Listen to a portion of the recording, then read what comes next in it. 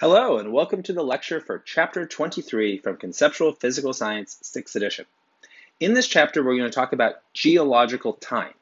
So, this chapter is going to involve how scientists measure geological time and how they read the rock record to determine that geological time and basically break up that huge time frame of hundreds of millions or billions of years of Earth's history into digestible chunks in terms of understanding. Okay? So, let's look at the, the table of contents. So we're going to look at how we use rock, uh, record relative dating in terms of the rock record, how we also use radiometric dating, which we actually talked about when we talked about the atomic nucleus and the idea of having half-lives as a measure of time. So we're going to return to that idea for its, for its very specific application to geology.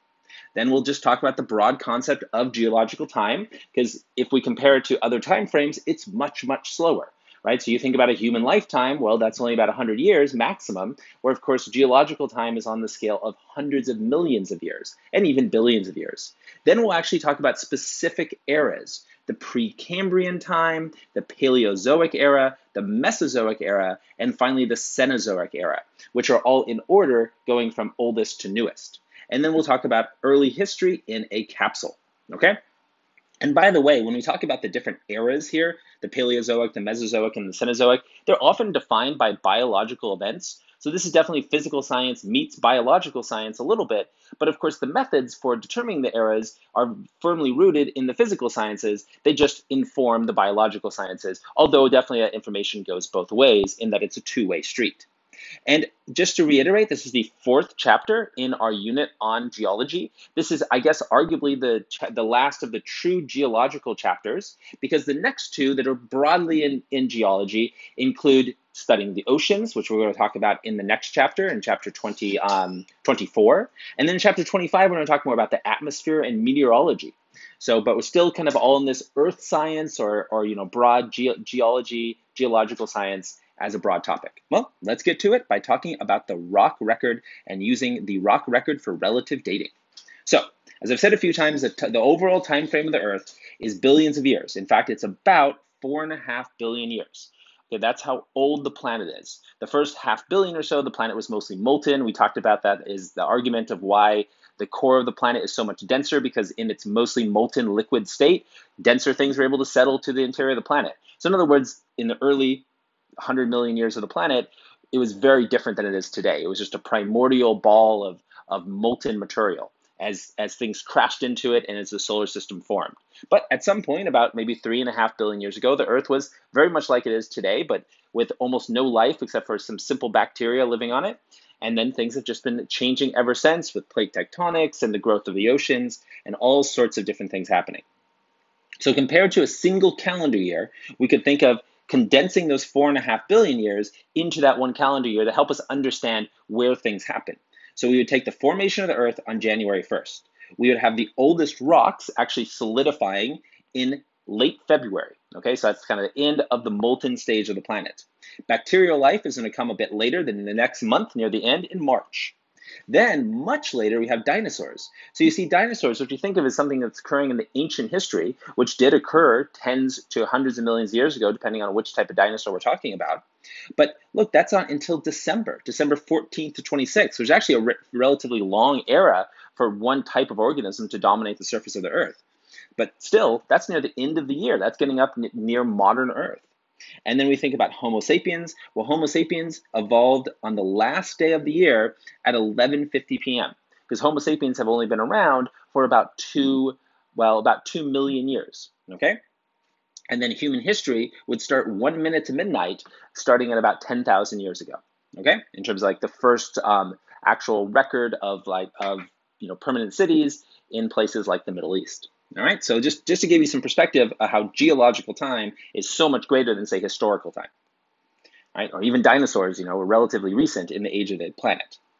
Now, interesting thing about relative dating is there's this principle which is uniformitarianism. Now, uniformitarianism, tarianism, which is a mouthful, is an assumption and a reasonable one that Earth's geology is the result of slow processes over long periods of time.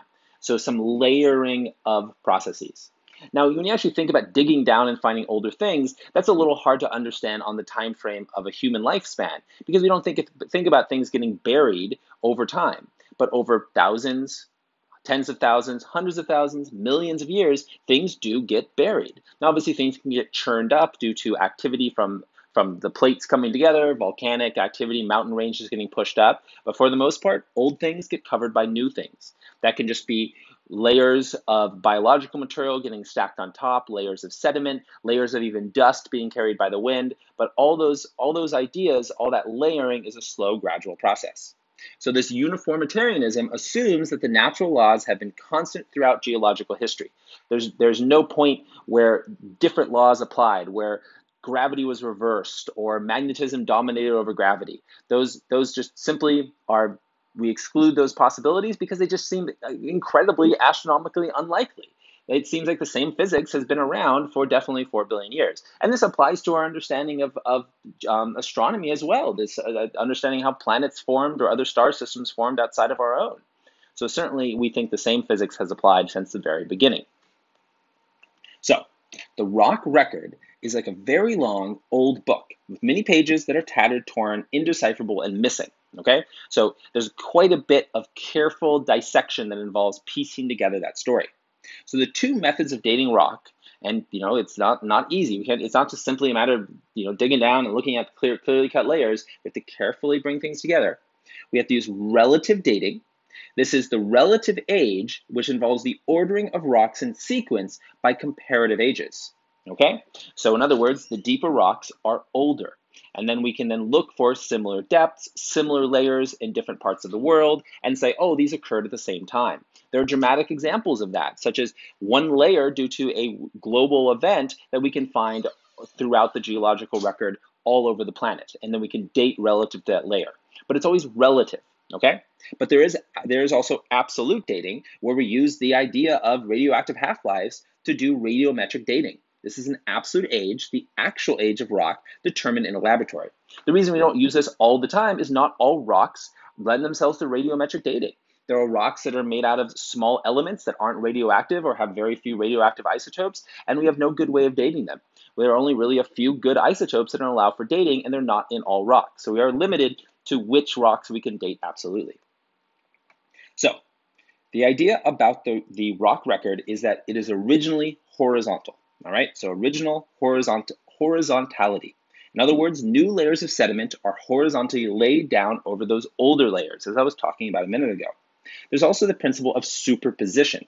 This says that in underformed sequences of rock, the top layers are younger than the bottom layers. Furthermore, there's cross-cutting.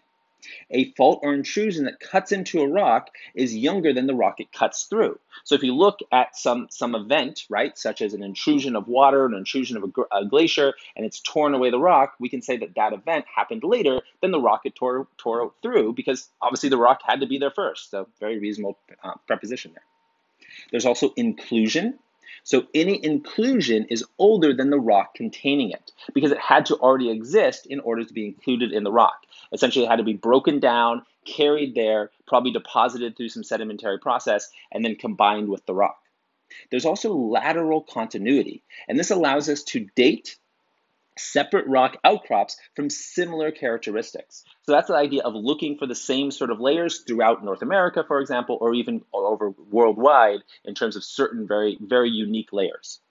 There's also faunal succession. So this is in using the fossil record to help understand the rock record. So fossil organisms follow one another in a definite irreversible time sequence. We know one organism, you know, evolved from another. We know that more complex mobile um, animals evolved from simple sponges, and those simple sponges evolved from animals that didn't that didn't really that weren't animals, right? They evolved from some sort of you know more primordial organism. And so when we look at that, we can clearly say, oh well, these fossils are older, therefore the rocks they're in must also be older.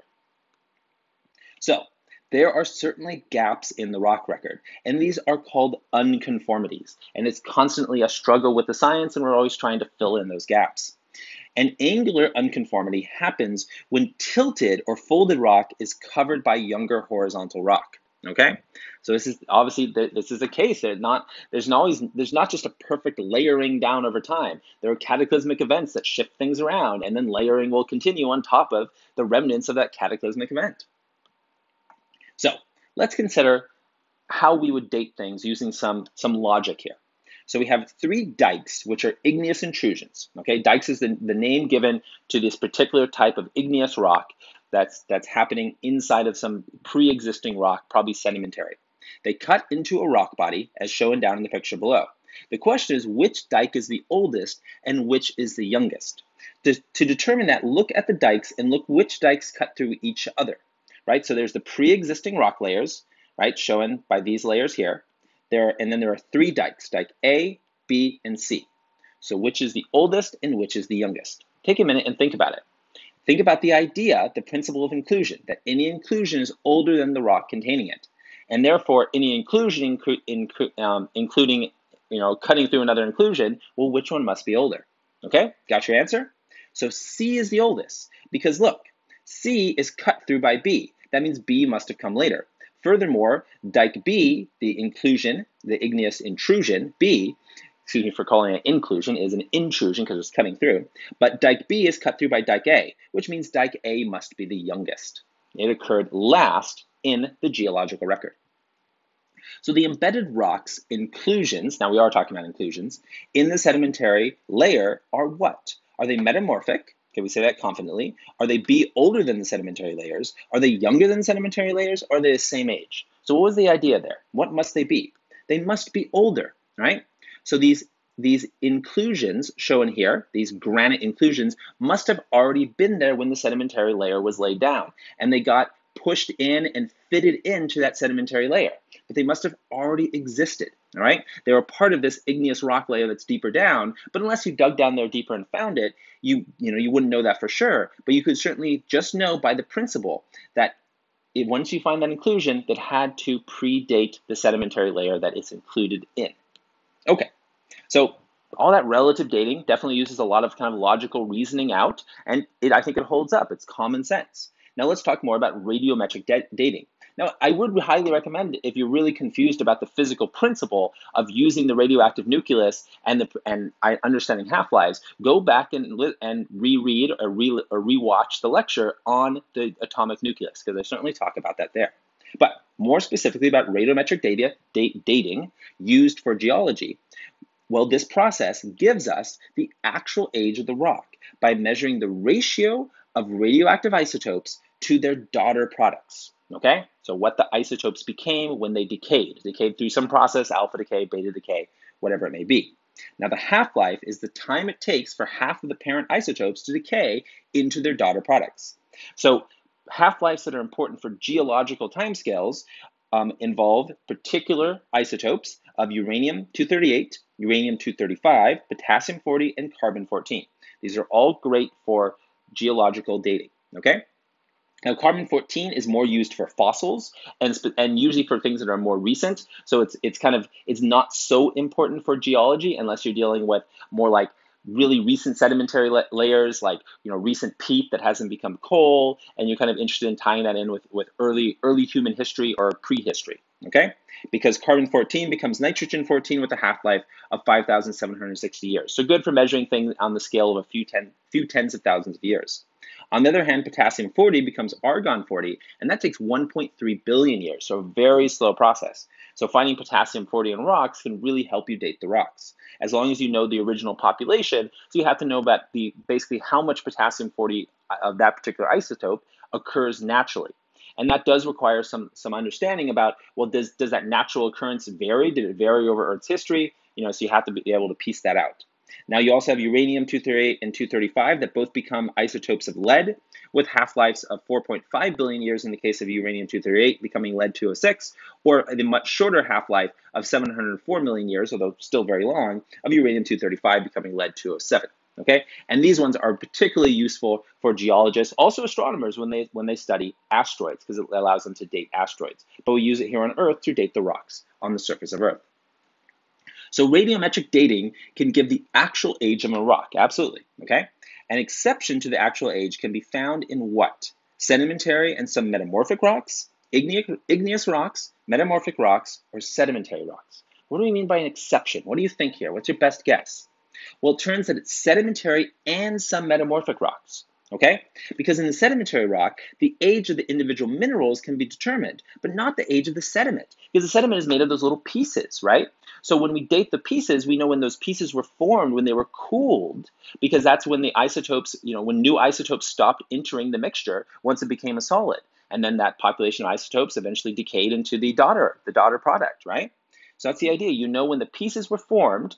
So really, really, this is this idea of radiometric dating. What is it most useful for? igneous rocks. Okay? And why would metamorphic rocks also make an exception to the actual age? Well, because when the mineral is reheated and metamorphosized, that sort of resets the clock. Because if it gets reheated and reliquefied, that would allow isotopes in the surrounding material to seep back in, which would then change the population. So you don't, you don't know then how old the rock is anymore. Okay, so really, it, it's it this process of radiometric dating is can only be used definitively for igneous rocks that haven't been remelted or haven't been broken up and turned into a sediment. So, but still, there are lots of cases of that. So it's, it's still it's such an important tool. We just have to use it correctly. That is radiometric dating. Okay, so let's talk about the overall geological timescale. We've talked a bit about the mechanisms and talked about how they are building off ideas that we saw in previous chapters. But this next part of, the, of this lecture and these slides is saying, okay, well, now that we know that and we know there's definitive ways or, or very successful ways of, of dating, you know, geological processes over time through, you know, through excavation or looking at, at you know, up, uplifted layers of rock, then what what do we know? Like what what are the actual time frames? What are what parts of Earth's Earth's history, its geological history, have have we been able to determine? And how does how do science scientists represent that overall history? Well, they do it with named eras. Okay, so there's this this wonderful way that we we talk about the overall history, the same way that we talk about eras in human in human history and recorded history in terms of you know pre World War II or the you know between the wars or the Napoleon era or the you know the Age of Discovery, right? The Renaissance, right? These are names of periods of human history. Same idea for geological history. We have names for these different periods of time. Okay, so the calendar right of Earth's history, and we're not comparing it to you know necessarily to you know the month the months of the uh, you know comparing it to one year of a of a Earth Earth year calendar. I'm not, not doing that anymore, but that's the same idea. But the calendar of Earth's history was originally created using relative dates. So it, it, this whole idea of predates the ability of radiometric dating. It was done, you know, back in the 19th century um, and 18th century. Okay, but since then we've confirmed the dates of radiometric dating. The specific dates using um, radiometric dating have been added in, and we subdivide geological history into units. And those units are called, in terms of, of biggest time frames to, to progressively smaller time frames, eons, eras, periods, and epochs. Okay? And they really are firmly rooted on changes in life forms. So biology kind of defines the different namings. Okay? So, what's going on then? Well, we've got starting back 4,500 million years ago, which is to say 4.5 billion, because a thousand million is a billion. So when you see 4,500 down here, that of million years, because MA stands for millions of years, then you're talking about 4.5 billion. So that's the beginning of the Earth. Okay? That time, that eon, is referred to as the Precambrian time. Okay? So that's basically the very, very early Earth.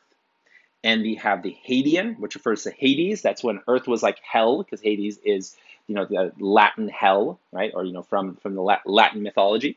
Then there was the Archean, the Proterozoic, right? These are all the different eras within the eon of Precambrian time. And Precambrian time is kind of a catch-all phrase, all right? So it's these, these particular terms, Pro, Proterozoic, Archean, and Hadean, whether, whether they're called eons or eras, it kind of, or a period for that matter, it kind of depends who you ask. But the point is that these are very, very early, up to about 2.5 billion years ago, although the Proterozoic ends at this division right here, starting at 5, 543 million years ago. Okay? Now, what's interesting is that that's really kind of where we get to thinking about life that we know well, right? So certainly there was life, and we find we find examples of of simple organisms that lived three billion years ago. In fact, there's a whole branch, a whole kingdom of life called the the, the Archean organ, organisms. Okay, based on the fossil record. So there was certainly life in these these early eras or periods of Earth's history, but it's we just don't know as much about it because it's so long ago.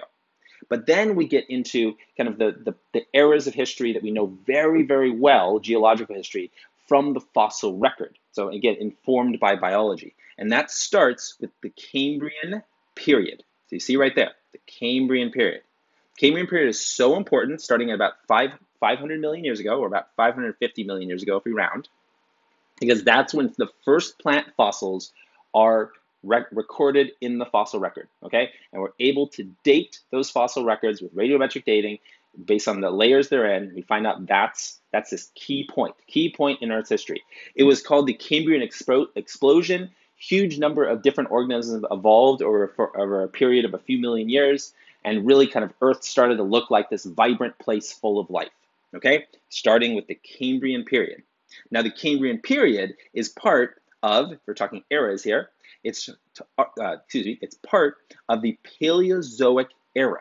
Okay, so the Paleozoic era is a is the first of the big eras, the eras that fall into the eon of the Phanerozoic. Okay, so that Phanerozoic basically encompasses all of the like the fossil record that pe people study he heavily because the Precambrian time there's very few fossils. Okay, so there's not a lot of study, not a lot of research done. So the Phanerozoic is basically you know 90% of research that's done in terms of uh, past eras of, of the Earth includes the Phanerozoic. So when we talk about that, we talk then mostly when scientists talk about you know looking back in time in the geological record, they talk about either the Paleozoic era, the Mesozoic era, or the Cenozoic. So Paleozoic is the oldest, it's paleo, so it's old. Mesozoic means middle, so it's the middle era. And then Cenozoic is the most recent era. Okay, so looking then at the oldest era, the Paleozoic, we have all these periods, right, with very interesting biological events happening. Cambrian, first plant fossils, as I already said. The Ordovician, the first vertebrate fossils, right, so actual animals with backbones. Then we get into the Silurian, where the first insects are found. Then the Devonian, this is where amphibians evolved, and we start seeing amphibians show up in the fossil record. Then we get into a, um, an era called the Carb Carboniferous. So the Carboniferous is defined by huge trees that had evolved, but at that point, the basically the fungi and the other organisms organisms that break those trees down had not yet evolved. So when the trees die, they turn into thick, thick layers of fossilized trees. So huge expanses of fossilized trees, which then never happened again in Earth's history. But we see that very clearly defined in the you know the recorded the recorded layers because they, they left this layer of, of fossilized trees. The Carboniferous is split into the Miss, Mississippian and the Pennsylvanian, kind of de depending on where those layers were discovered. That's where the names come from. Then we get into the Permian. So the Permian is the last of the periods in the Paleozoic era, and it's when reptiles first evolved. Now, reptiles led to dinosaurs, and dinosaurs show up in the Mesozoic initially, with the Triassic period and the Jurassic, now, within the Jurassic period, dinosaurs were ruling the Earth. They were definitely the most dominant life form, but birds started to evolve around that time, and there was certainly a, a lot of you know a comparison between later dinosaurs and early birds, and, and perhaps you know they many dinosaurs evolved into those early birds. Then there was the Cretaceous, which also had many dinosaurs. Okay, but then we have the end of the dinosaurs. Some probably some uh, crashing of a meteorite or a, um, a small comet into the planet caused a drastic change in the climate that may have already been changing. And we have really kind of the end of the era of the dinosaurs, ending at about 65 million years ago. And then we get into the Cenozoic era with two different periods, the Tertiary and the Quaternary. Okay? And when we get up in the end of the Quaternary, the Holocene, we're getting up to the conditions where early humans evolved. Okay? So pretty interesting stuff although very early humans actually evolved way back in the Pleistocene. But the Holocene is where we think of, you know, kind of, you know, that's like when, you know, um, humanoids were interacting with Neanderthals, you know, some few hundred thousand years ago. Okay, so hopefully that's kind of a neat, a neat review of all these eras because it's certainly a, a lot of information and it is kind of fun to think about all these names and all the incredible amount of different organisms that lived throughout Earth's history. You know, I said we're definitely treading on the toes of biology a bit here. So Let's summarize these a little bit. All right, so we got the Precambrian time. The Precambrian ranges from 4.5 billion years ago to about 543 million years ago. It includes 90% of Earth's history, okay? But again, we don't know that much about it.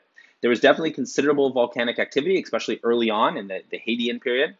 There was meteor, meteoritic um, bombardment, um, bombardment, excuse me, meteorite bombardment. And this wasn't just Earth. Whole, every planet in the solar system was bombarded at this time. It's called the era of bombardment in, in, um, in terms of astronomy terms.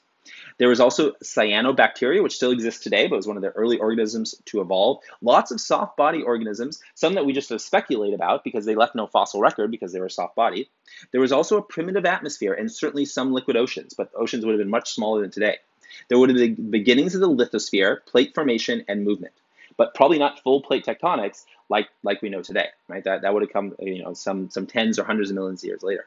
So we, when we talk about Precambrian fossils, the most common one, the one that scientists come back with the most to, are stromatolites because they grew in these big chunks and almost like um, uh, coral does, and they left around, they left that that bony structure behind.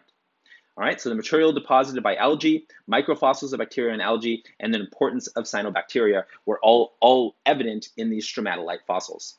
There are some plant fossils that show up in the middle Precambrian, primitive animal um, fossils in the late Precambrian, and diverse and multi and multi-cell organisms existed by the close of the Precambrian. Okay, so there's definitely definitely you know we can find out sometimes that maybe we were a little bit too conservative, and there were earlier animals, earlier plants, you know, before the Cambrian, but certainly not at the huge level that we see in the Cambrian period. Okay, so then we get into um, the or talking a little bit more about the Precambrian. Excuse me. The first atmos atmosphere you know, forming really early in the Earth, was primarily hydrogen and helium. Notice there's no oxygen in there. We'll come back to that. The second atmosphere that was driven by volcanic outgassing, because there's you know so much volcanism early on, and cometary impact. So these you know comets being you know having a lot of water in them when they they uh, crashed in, started forming a lot of CO2 in the atmosphere as well as water in the atmosphere, but still no free oxygen. Now, the H2O condensed to form the oceans. So much of the oceans that we have today were actually brought in by comets. The water, the water that exists in the liquid oceans on the surface of the planet wasn't there when the planet was formed. It came later through the impact of comets. At least that's the prevailing theory. Then there was a third atmosphere that formed later in the Precambrian, where there was a removal of CO2 to the rocks. So the CO2 started locking, or the rocks started locking in that CO2, as certain rocks are able to do. There was an increase in nitrogen and there was an increase in oxygen because photosynthesis began, right? There started to be organisms that were photosynthesizing. Uh, it's not just plants, algae can photosynthesize as well. And there was development of ozone, O3, okay? So that third atmosphere was really starting to form by the end of the Precambrian. So let's do a check here. The development of free oxygen was crucial to the emergence of life on Earth. Okay, one thing led to another, right? Because it led to the formation of what? Air for animals to breathe, ozone, which helped screen Earth from harmful um, incoming UV radiation, ozone, which primitive organisms could breathe, or was it because the oceans, you know, it made the oceans where life emerged? Well, it turns out that it was ozone was the biggest biggest factor. It was the fact that the ozone helped create a basically an atmosphere that screened out UV, and screening out UV radiation meant there was less random mutation in these organisms, which allowed more complex organisms to actually you know live to maturity and breed successfully, and allow those more com complex organisms to live because otherwise the radiation makes it so only small organisms can survive, which is so interesting, right? That biology is really dictated by the amount of ambient radiation, how much radiation is getting to the surface of the planet. And having ozone absorbing that UV radiation is a big deal. Okay? So it's not just the breathing of oxygen, it's the ozone, right? Okay, in terms of the oxygen being in our atmosphere being so important. Okay, although you don't want too much because then you get too much of a greenhouse effect. All right, let's do another check. The evolution of cyanobacteria helped oxygen escape to the atmosphere by doing what? Keeping the carbon and expelling the oxygen? Photosynthesis? Releasing it from carbon dioxide? Or all of the above? Well, it's actually all of the above, right? The cyanobacteria was able to release the oxygen from carbon dioxide, basically splitting the oxygen apart from the carbon. It was able to produce it through the process of photosynthesis, right? That endothermic process that requires the intake of, of solar energy and it kept the carbon and expelled oxygen, right, as plants do. Okay, so then we get into the Paleozoic era, right? So this is the the the, the first of the three area eras in in the pheno, the Phanerozoic um, eon. Okay, so basically this starts with Cambria, the Cambrian period.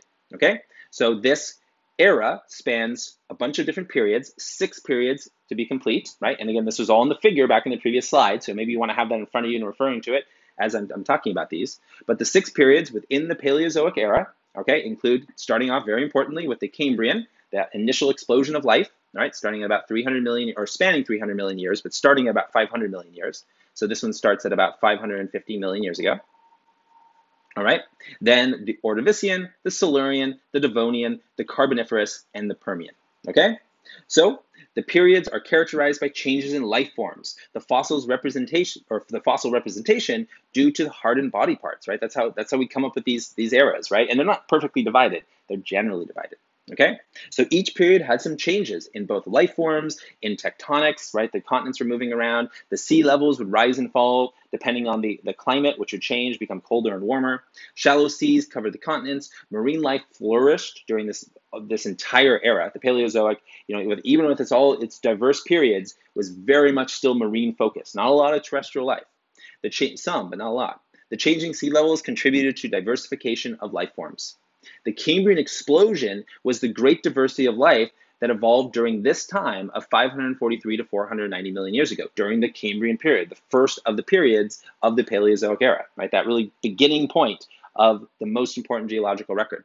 This had a lot of hard-bodied organisms that we can see in the fossil record, and the ability of these organisms, organisms to secrete calcium carbonate and calcium phosphate for the formation of outer skeletons. So important, right? Both for their own survival and diversification of life, but also for us to study because you know that those outer skeletons remain.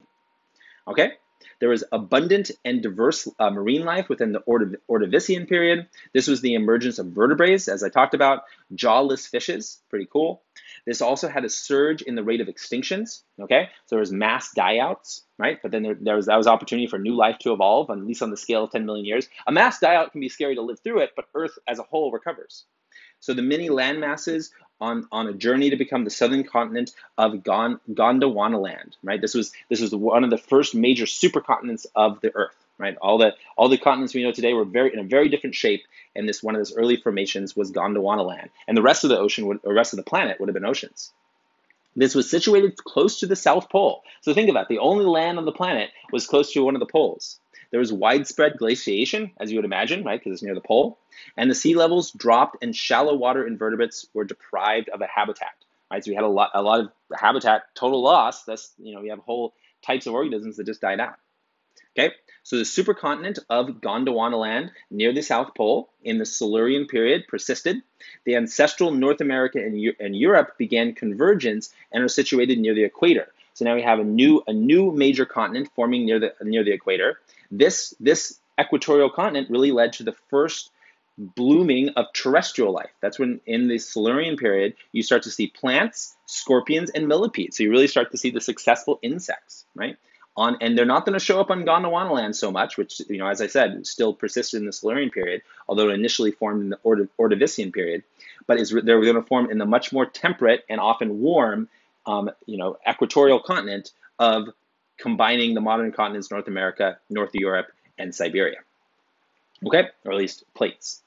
Gondwanaland had um, completely formed in the southern hemisphere by the Devonian period. North America and Eurasia had joined as a continent of Laurasia within the northern hemisphere, so it moved up north. The Devonian period is known as the Age of Fishes, huge fishes, huge diverse fishes, many of which aren't around anymore right? There are two groups of big bony fishes, the lungfish and the lobe fin fish. And we see these in the fossil record. So now, now when we get into the Carboniferous period, getting to the end of the Paleozoic era, we have a collision of these major continents. So Gondwanaland and Laurasia, Laurasia being you know that that more equatorial continent, actually crash into each other, forming the Appalachian Mountains. That's how old the Appalachian Mountains are, some 300 million years old, which is why they're so small today because they've been weathered over those hundreds of millions of years and become much smaller than they were initially. They're probably as big as the Himalayas when they were formed back 300 million years ago. And the Ural Mountains, another heavily weathered mountain chain that's very ancient. So Appalachian and Ural Mountains were formed around the same time, and this was the creation of Pangaea, that one that one supercontinent that led to the theory of plate tectonics. Okay, because it was you know Pangaea was this point where the modern the modern continents did were kind of all fit together, and now after this they start splitting apart. It was a warm, moist climate, so it is you know leading to these huge jungles essentially. There was dense swamplands, and the present day coal beds were created. As I said, I said a few slides ago, there's these huge trees were growing at this point, these huge swamps and almost like Everglade forests, you know, but obviously, you know, with some very different life forms than today. But as they died, as the trees died and new ones grew, and you have these layers within the swamps, well, those trees they didn't they didn't get eaten up today because today trees trees get consumed primarily by fungi. There's fungi that break down the actual, you know, the actual molecules within the trees. But the, those fungi had not evolved at this point, so the trees is simply layered up, creating big, thick layers of basically biological peat. That peat then became coal over time. So, so much of the layers of coal that we dig up and use as a resource today came from this period of history. Insects were abundant, and the amniote egg evolved for the first time, right? Like a chicken egg. Okay? So then we get into the Permian period, the last of the uh, Paleozoic, Paleozoic era periods. This persisted from 290 to 248 million years ago. Here we have amniote vertebrates that continue to diversify. There's an ancestral link to reptiles and mammals, right? So these early vertebrates definitely led to what we know as reptiles and mammals today. There was also a huge extinction event. 95% of all marine species just got wiped out. It was probably due to a lot of undersea volcanoes that just changed the composition of the oceans, right? So big, big die out. This die out carried over to land species as well, but not quite as dramatically, okay? The possible causes of this mass extinction were redistribution of water and land, changes in landmass, elevation, climate, lowering of sea levels, whatever is the fact, there was a huge die out, one of the biggest in Earth's history. Okay? So, the Paleozoic experienced several fluctuations in sea levels. When sea, level ri- when sea levels rise, what happens? Do shallow seas cover the continents? Does more wa- or is it more water is tied up in glaciers, making the climate colder? Is it the climate turns warmer and swamps form? Or do or do ocean, excuse me, or do ocean basins become shallow? What do you think is the most reasonable answer? Well, it turns out shallow seas cover the continents. Okay, so you end up with continents that are quite small and huge expanses of seas. So big flatlands like you know, the central North American continent would just have been a, a shallow sea, a big shallow sea stretching across. Okay? So at the end of the Permian period, sea levels lowered. The lowering of the sea levels could be a result of glaciation as Pangaea drifted near the South Pole, the collisions of Gondwanaland and Laurasia to form Pangaea. It could have been that tectonics and climate change um, affected that, or was it all of the above? Was all of the above? Okay, glaciation definitely would have tied up water, thus lowering the sea levels. Um, you know, just the very the very act of the collision could have um, could have lifted up the continent, and tectonics and climate change as a kind of a catch-all certainly were driving those lowering sea levels.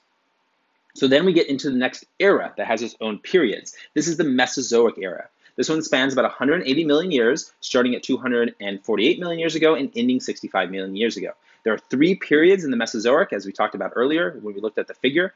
These are the Triassic, Jurassic, and Cretaceous. This is called the age of the reptiles. It's really the age of the dinosaurs, okay? And, you know, that's really all three of these periods were defined by dinosaurs to one extent or another. So Mesozoic history began, begins with the much of the world's land above sea level, right? So seas had dropped so much. There wasn't a lot of sea left, right? Just a few trenches. The seas um, um, invade Western North America, and then there's the breakup of Pangaea, right? So that really kind of starts the continents moving to their the positions we know today, and it begins, okay, in the beginning of the Mesozoic um, era. And there's also the beginnings of the Atlantic Ocean, right? That that Mid Atlantic ridge started to create the Atlantic Ocean, which hadn't been around. There was subduction of oceanic, oceanic crust produced, uh, which, which produced widespread uh, de- deformation, volcanism, and mountain building along the western coast. The mountains of the western of western North America began forming. The Mesozoic era, um, in terms of its life, well, it was there was there were survivors of the Great Paleozoic extinction True pines and redwoods survived that time and continue to be successful on the surface of Earth. Flowering plants had an opportunity to actually become more successful than they had before. Insects continued to proliferate, and reptiles really got their first foothold as a major important species in the beginning of the Mesozoic era. Okay, so first true terrestrial animals readily adapted to the dry Mesozoic climate, much drier than the, the climates that had defined the um, you know the eras within the Paleozoic, okay, or the periods within the Paleozoic. Mesozoic life, well, dinosaurs dominated, right, throughout all three of the periods. One group of reptiles led to the birds, right, some whichever group that was, you know, scientists are still deciding. Many reptile groups, along with many other animal groups, became extinct at the close of the Mesozoic, probably due to a giant um, impact event. Possible hypotheses for this extinction, impact of a large asteroid or comet, and extensive volcanism. Okay, but certainly this is the prevailing theory. It's just that sometimes it might be combined with extensive volcanism. So the volcanism already made the, the, the world susceptible to a die out, and then there's that one event that made it so dramatic. So the breakup of Pangaea in the, in the Mesozoic was the greatest tectonic event in the Mesozoic. Of all the continental unions that existed in the Paleozoic, in Paleozoic time, which ones survive to this day? Africa and Asia, the United States and Mexico, Asia and India, India, or Europe and Asia? Well, it's Europe and Asia, of course. They're separate plates, but they're still together to this day. They were connected back in the era of Pangaea in the Paleozoic, and they're still connected today. So then we get into the Cenozoic era, right? So we're, we're leaving the um, Mesozoic behind, and we're getting into the most modern of the eras. Okay, this one begins about 65 million years ago with the die-out of the dinosaurs. A smaller fraction of geological time than either the Paleozoic or the Mesozoic, and that kind of makes sense that the, the, the eras get smaller because we're actually able to study more and more. There's more detail, right? Because the more recent eras, there's just, just more things have survived, right? It's often called the age of the mammals because we have a huge proliferation, success, successful colonization of the seas by mammals, which kind of happened at this point. This is where you have, you know, whales and dolphins you know, kind of actually evolved from land organisms or returned to the seas. Um, Pangea continues to, it, well, its, its breakup is complete, but everything continues to drift apart. And there's two periods within the Cenozoic, which are just called the Tertiary and the Quaternary. And these ones don't have these particular events or organisms that define them as, as well as the eras of the, um, or the periods of the other eras, but they're just, they're just kind of, just, that we break, we break them up more broadly, I should say. So other interesting things about the Cenozoic era North America and Greenland split from Europe. The Alps and the Himalayas be, um, begin to form by collision of land masses. And there's ridge formation and plate movement that led to the San Andreas Fault. These are all things that, that happened geologically speaking, plate tectonic speaking, in the Cenozoic era. Also, in terms of the climate and the effects on biology, there was a cooling of the climate. There was glaciation in temperate zones that happened periodically. There was one third of the land covered by ice, right, for some long periods of time. Marine mammals and large land, large land animals evolved. So there's definitely uh, over these tens of millions of years, you had lots of, of mega animals, huge land animals that lived on the on the on the land.